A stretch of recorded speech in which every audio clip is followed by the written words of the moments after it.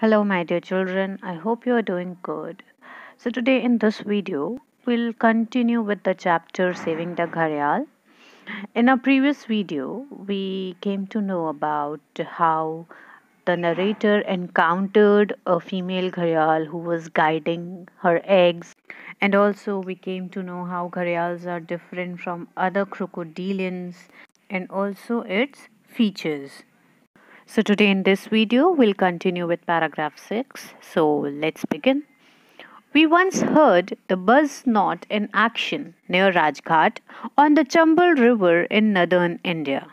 We saw a big male gharial and heard his underwater territorial jaw clap. So territorial jaw clap is, you know, like we just bring our palms together to clap they as their uh, jaws are very long they bring their jaws which produces a clapping sound. They do this to show that they are in charge. They are uh, they control that certain area.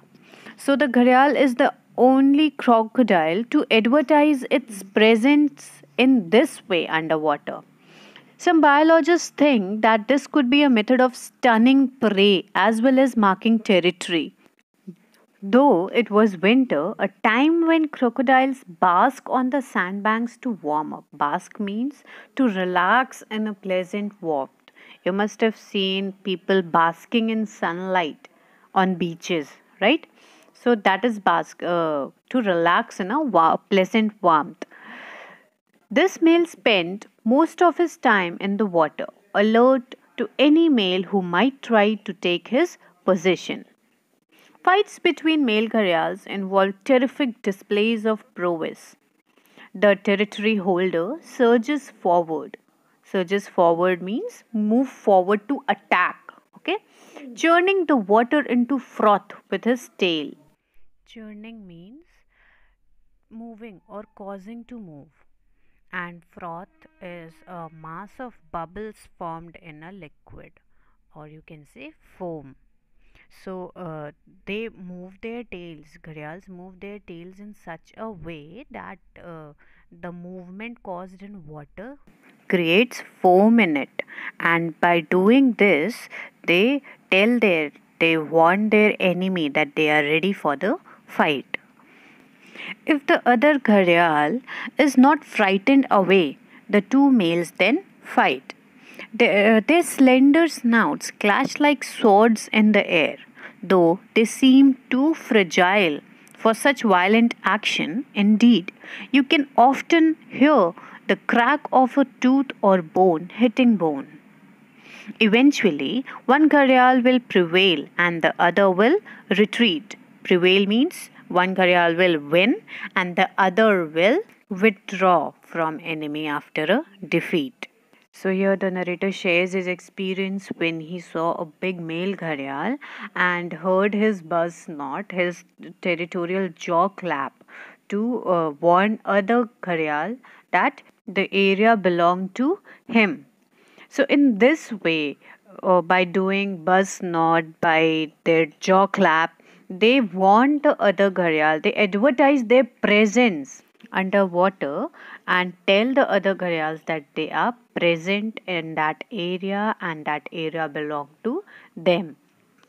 So some uh, biologists think that uh, this jaw clapping and buzz knot it might be the uh, method for the gharials to uh, hunt their prey and also to mark the ownership of the territory. And when they met this male gharial uh, near Rajghat on Chambal River, it was already winter, and at winter times, crocodiles bask on the sandbanks. They relax in the pleasant warmth of sunlight on sandbanks. But this male gharial spent most of the time in water. He didn't come on sandbank to bask in the sunlight or to relax. He was very alert that any male gharial might come and take his possession and so he was underwater doing buzz knot, doing jaw clap. Now when it comes to fight between male gharials, it involves a mm, very uh, great skill to fight to uh, trick the enemy. So the superior of the area, the territory holder moves forward with great speed, causing movement in water that creates froth in water with his tails. He does this to uh, frighten, to warn uh, the other gharial. So if the other gharial is not frightened away, then the two males then start fighting. While fighting, their slim snouts clash like dagger in the air, and it seems like a very violent action. Uh, a crack of uh, tooth or bone hitting bone can be heard.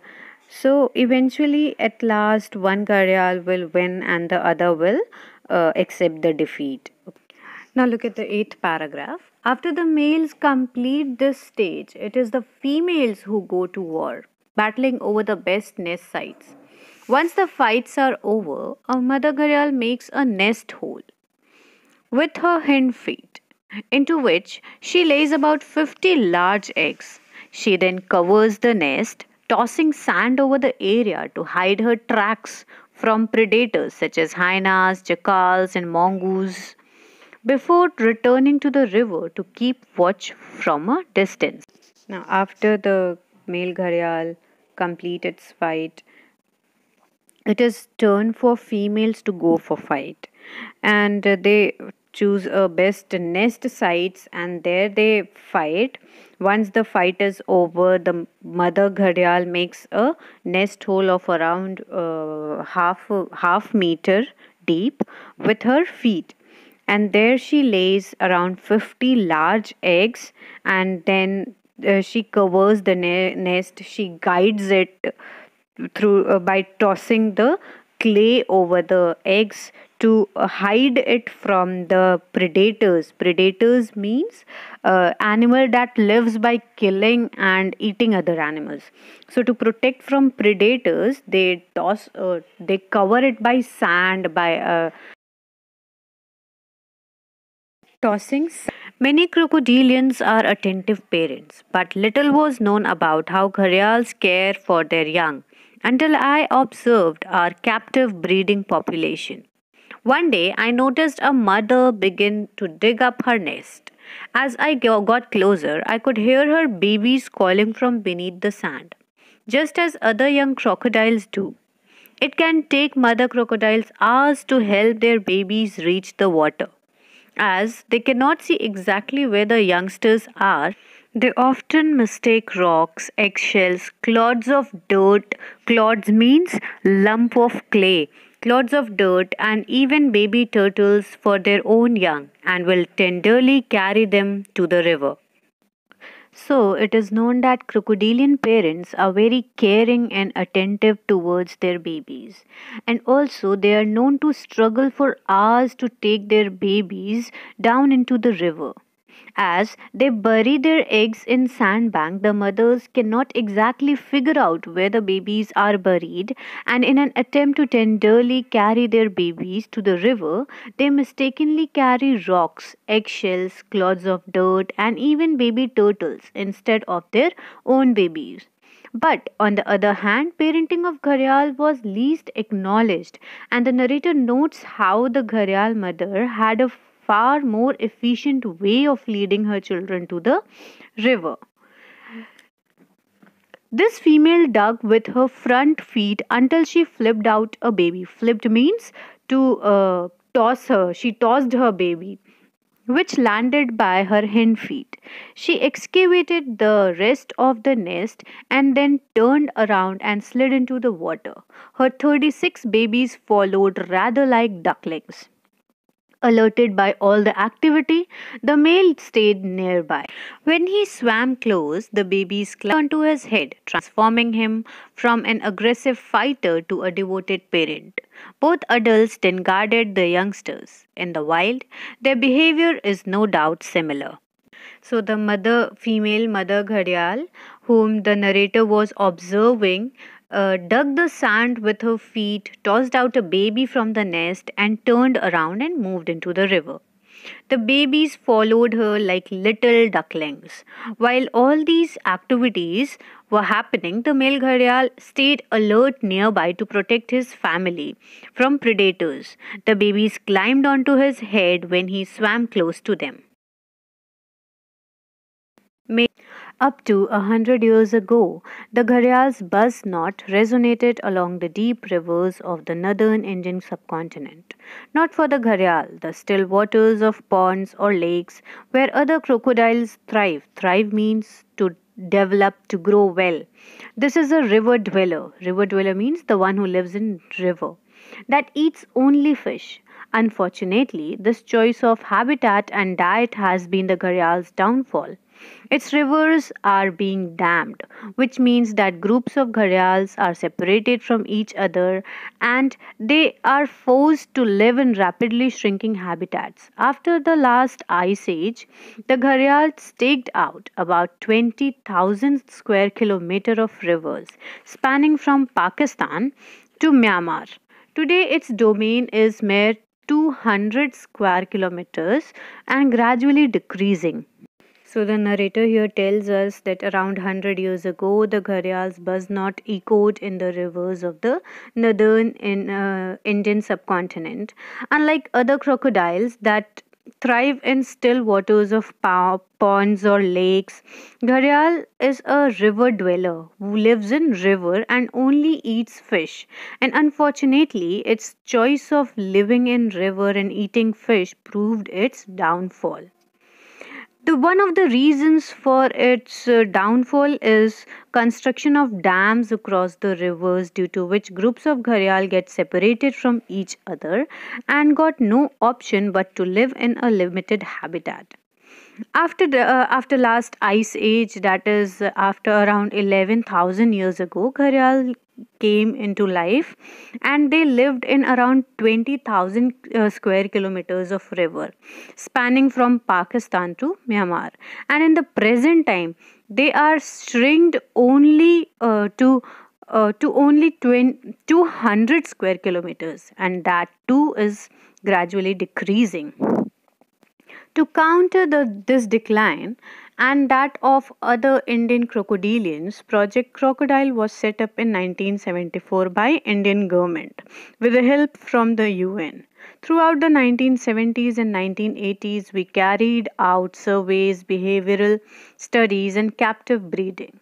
We reared thousands of youngsters and released them in protected areas.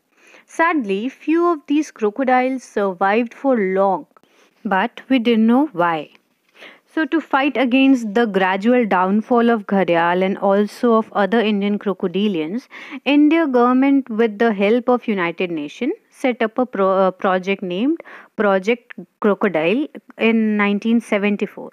And for near two decades from the from then the narrator and team carried out several surveys studied the behavior uh, including health quality of life actions needs etc of gharials uh, and they also carried captive breeding of gharial, that is, process of breeding gharial in controlled environment.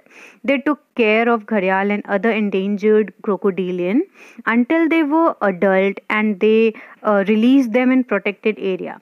But the result was not satisfying and only few crocodiles survived for long. The reason was unknown. For example, the beautiful Satkosia Gorge in Orissa appears to have everything a gharial could want fish, sandbanks, protection. Threats such as bamboo rafting and net fishing have been eliminated. Yet, only two of the 700 gharials released here in the past three decades have survived. When I visited the gorge uh, during the monsoon in mid July, I saw how small streams had become torrents. The river had eroded the banks and uprooted trees. The released gharials were obviously being flushed downriver. Downriver means the mouth of the river out of the protected area and even into the sea.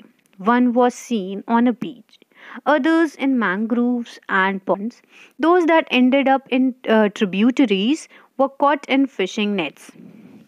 So the narrator gave example of Satkosia Gorge Sanctuary in Orissa, where even after providing suitable habitat for gharial, like providing them fish, fishes, sandbanks, protection, elimination of bamboo rafting and net fishing, only two of the 700 gharials which were released there survived. When narrator visited Satkosia Gorge, it was uh, mid July there he saw how small streams of water had transformed into extreme storms, due to which bank was worn away by the river and the trees were uprooted, which caused gharials to move towards the mouth of a river or out of the protected areas, which is also cause of extinction. Eh, extinction. Very few were seen, like one on beach, some on mangroves, and others were caught in fishing nets. Fishing is a massive problem. In supposedly uh, protected areas, we saw several gharials whose snouts had got tangled in nylon fishing nets. It was clear that despite the rules, uh, nets were being set at night, entangling gharials that tried to swim through them or attempted to eat the netted fish. The crocodiles didn't drown, but they were left unable to open their jaws and thus in danger of uh, starving to death. Clearly, though the gharial is not in as much danger as before, our 30 year strategy of captive breeding has not been enough. The species faces an uncertain future and its survival is closely linked with the needs of the humans dependent on the rivers. Our campaign is part of a much larger effort to ensure the survival of these rivers. The threats from development, pollution, and climate change increase day by day, but we are hopeful that people are at last ready to do what it takes to save the Gharial, the finest example of a healthy river. The narrator tells that fishing is one of the major causes for the downfall of gharials. Like even in protected area, narrator with the team saw several gharials suffering from entangled snout in fishing nets which made clear that the nets were used at night for catching fish, which was against the rule, in which gharials were and uh, snouts of gharials were entangled while they attempted to eat the fish's cotton net.